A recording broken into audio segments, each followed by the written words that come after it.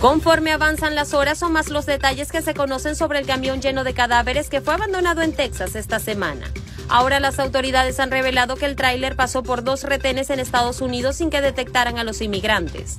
Francisco Garduño, titular del Instituto Nacional de Migración, informó este miércoles que el tráiler en el que se encontraron a decenas de inmigrantes, algunos vivos y otros muertos, había pasado exitosamente por dos retenes de la Oficina de Aduanas y Protección Fronteriza de los Estados Unidos, sin que los agentes pudieran detectar nada extraño. El tráiler pasó los puntos de revisión migratoria de CBP en los Estados Unidos, en donde fue captado por las cámaras de seguridad a las 14 y 50 horas del día lunes 27 de junio en el Encinal, Texas, a 56 kilómetros de la frontera, y también en Cotulla, Texas, a 109 kilómetros de la frontera, detalló Garduño.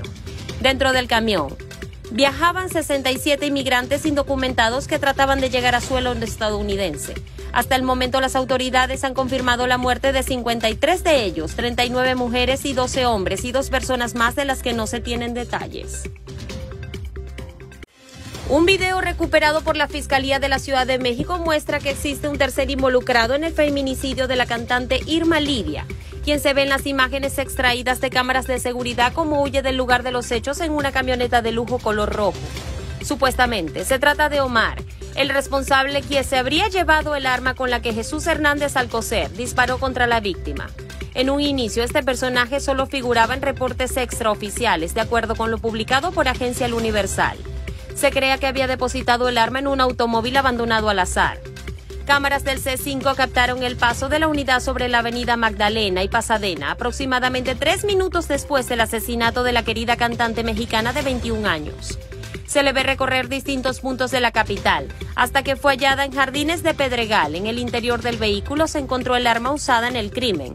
La pistola es clasificada como una F9 Fine 7, semiautomática, conocida popularmente como matapolicías.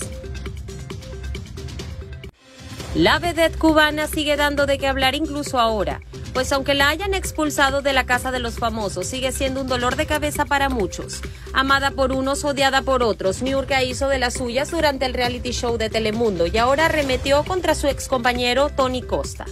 Aunque ambos ya habían tenido un enfrentamiento anteriormente, en donde el bailarín español le puso un alto luego de que ella hablara mal de Adamari López, la ex de Tony, ahora Niurka volvió a hablar contra varias personas que no la tienen para nada contenta, incluyendo al bailarín español. Esto fue comentado en Hoy Día, en donde Adamari reaccionó ante dicha situación. Niurka tachó al ex de Adamari López de ser una persona sin criterios y sin autoestima. Es una persona con la autoestima totalmente baja, sin criterio propio. Al principio no sé si vieron en el momento en que le puse un hasta aquí y le dije, mejor preocúpate por echarle un poquito más de ganas a tu autoestima y olvidarte de los demás. O sea, deja de estar criticando y deja de estar dando consejos que tú necesitas autoaconsejarte, comentó Niurka sobre el bailarín español. Gran controversia se creó en las redes sociales al momento en que se dio a conocer que Niurka Marcos se encontraba dentro de la lista de las celebridades nominadas para salir de la Casa de los Famosos 2.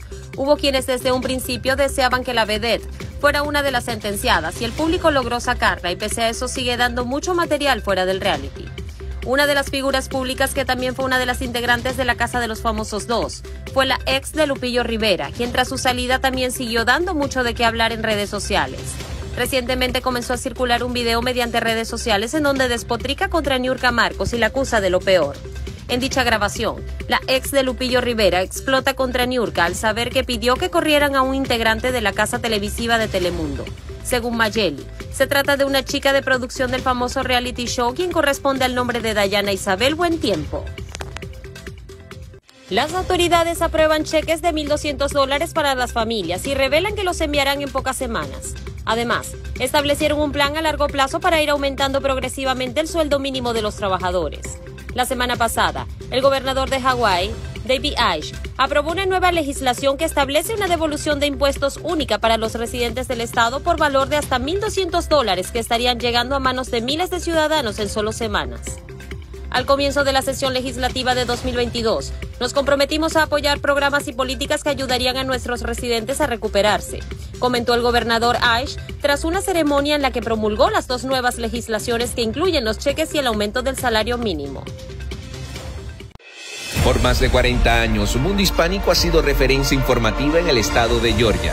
la constante evolución y las necesidades de nuestra comunidad. Nos llevó a transformarnos y expandirnos por todo el territorio estadounidense, hasta convertirnos en referencia informativa para todos los hispanos del país.